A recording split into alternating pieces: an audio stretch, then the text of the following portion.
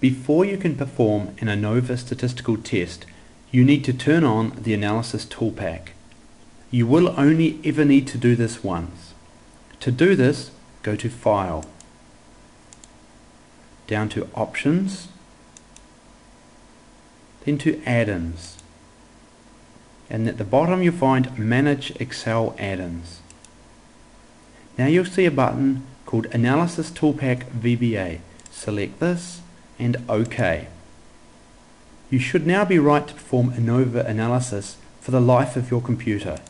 Remember, File, Options, Add-ins, Manage Excel Add-ins, and finally the Analysis ToolPak VBA button.